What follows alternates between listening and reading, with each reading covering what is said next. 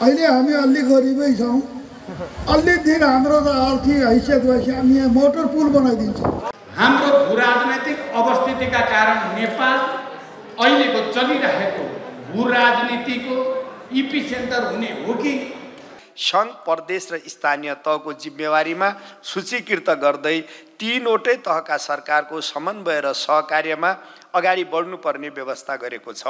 Railway सञ्जालको विकासको लागि हामी व्यवस्थित ढङ्गले अगाडि बढ्ने सोचेका छौँ। निजी क्षेत्र बेघार मुलुकको सम् विकास सम्भव छैन भन्ने मान्यताका साथ निजी क्षेत्रसँग सहकार्य गर्न चाहन्छ सरकार। सङ्घीयताको नौलो अभ्यास गरिरहेको हाम्रो मुलुकमा प्रमाण र तथ्यका आधारमा नीति बनाउनु जरुरी हुन्छ। सांसदहरूको अभिव्यक्तिले के देखाउँछ भने आज खबरदार यसो गरिस् भने भनेको छ।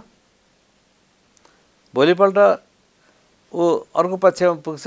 यी दुईटा देश हाम्रो बगलमा छन्।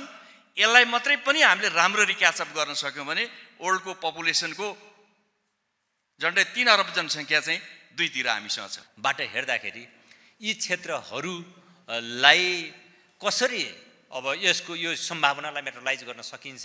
चौध सदस्यीय प्रतिनिधि मण्डल अ, लिएर मित्र राष्ट्र चिनको भ्रमणमा हामी गएका थियौँ। यहाँहरूलाई थाहा नै छ।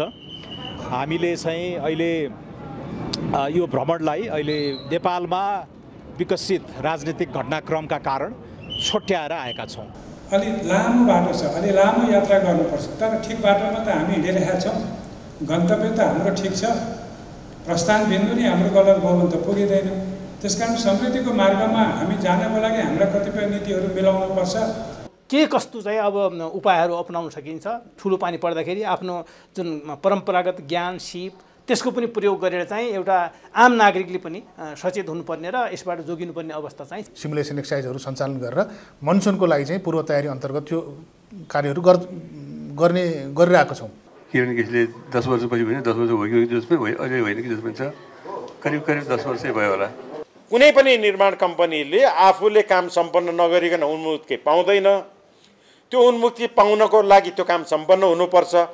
त्यो काम सम्पन्न गराउनको लागि सरकार त्यसको भुक्तानी गर्न योग्य सक्षम हुनुपर्छ। यो कम्पनी यति सहयोग पुर्याउँछु किन भन्दै गर्दाखेरि सरकारले त त्यसमा त हेर्नु पऱ्यो नि त।